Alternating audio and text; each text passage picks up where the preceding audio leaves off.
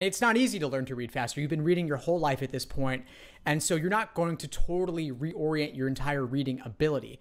But there are some tricks you can use to read faster. First off, I want to say use phrasereader.com. Phrasereader.com, great tool. What it let, and I'll put the link below this video. What it lets you do is copy paste in text from anywhere and display it to yourself at different reading speeds. So you could use The Economist, you could use Scientific American, or if you have the PDFs, you could use actual LSAT questions too. Just copy them in and display them at 200 words per minute, 300 words per minute. Kind of place yourself on this reading comp treadmill to get faster. That's one thing you could do. That's kind of like a speed reading hack sort of thing. Maybe it works for you, maybe it doesn't. If not, I've got something else for you too, which is just when you're looking at the passage, dumb it down for yourself. They are so great at over complexifying everything even things like I saw one reading comp passage they took from the New, a New York Times article and they boringified it. Like they made it more boring for the LSAT specifically. And so if you can remove some of those layers by focusing on the basics, what are the major viewpoints and almost like caricaturing them for yourself, like old versus new, or subjectivism versus objectivism, or conservative versus liberal whatever it may be. If you can just paint with a broad brush and put the different groups into a couple of major camps, it'll be much easier to relate to it and then you'll get through it faster. I totally get where you're coming from. I honestly don't like the science ones either. But what I do is, again, I dumb it down. So let's say you have like previously people used to think about a certain topic this way.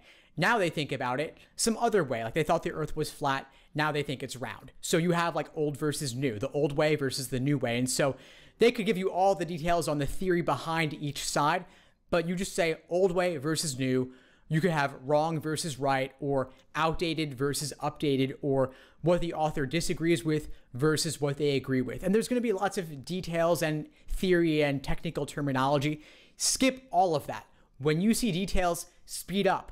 When you see articulations of major viewpoints, slow down, and read more thoroughly. The details you can always come back to later, but my aim for my students is to get through the passage in maybe two and a half, three minutes max so that you have enough time for the questions later. If you're going pretty slow and you don't want, you can't maybe you're going to spend four minutes or five minutes reading the passage, I'd say definitely don't spend any more than four, or else you'll have like 30 seconds per question or something, which isn't really enough.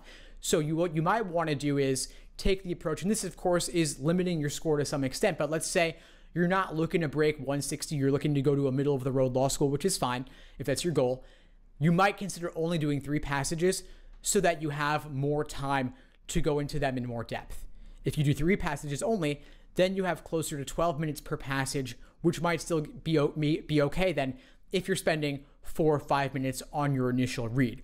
Or if you're super slow and you think you might have ADHD, then consider applying for testing accommodations, which could give you extra time. Because then if you get time and a half or double time, then you'll have plenty of time to slow down and read more thoroughly. Great question. And I think the biggest mistake students make on reading comp is doing the questions in the order given. You should not do them in the order that they're given to you simply because that's how they're laid out. There are three different types of major reading comprehension questions, and I would do them in the following order. Do all the general global ones first, like what's the main idea, what's the primary purpose, what's the tone of the passage, what's the author's opinion. Do those first. They're the general, knock them out. And if you can't walk away from the passage with the main idea, then you should probably go back and get the main idea because you need that to unlock everything else for yourself. Next, you have the local detail oriented questions.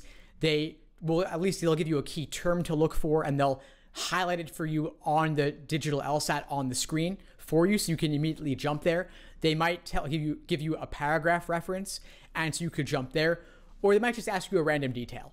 Do those next. Then the, lastly, I would do the more inferential questions that require reading between the lines. What would the author be most likely to agree with? Or the questions that are more similar to parallel reasoning, like analogies or strengthen or weaken. But do them in that order, which is really, again, easy to hard, and you can build your understanding as you go. For the harder questions, you may have to go back for it. There's no way around it. Those are the details that I actually recommend skimming earlier so that at least you can get to the get the main idea, extract that and knock out the general questions. You know, the inferential questions that require reading between the lines, those are the hardest and they're only worth tackling after everything else. And they might require a level of detail where going back would be valuable and that's okay. It's okay to go back to the passage. That's why they they let you keep looking at it while you're doing every single question if you want to. But i'd say that ultimately these parallel questions save them for last. They are going to require more time and since everything's worth the same there's no reason to spend an inordinate amount of time on them. Great question. On the digital lsat LSAC has given you some tools for highlighting and underlining. So these annotation tools definitely play around with them. They're on familiar.lsac.org. You can test it out and see how they work for you. Personally, I don't really recommend using them just because it takes a lot of time to play around with them and you might not always be marking things that are super useful for you later. But what you could do is articulate for yourself the main idea or the major viewpoint, or two, if there's two or three major viewpoints, just articulate them for yourself in a key phrase or a key sentence and write that on your scratch paper on the side so at least you can refer back to it over the course of the passage. But I really wouldn't do anything more than that.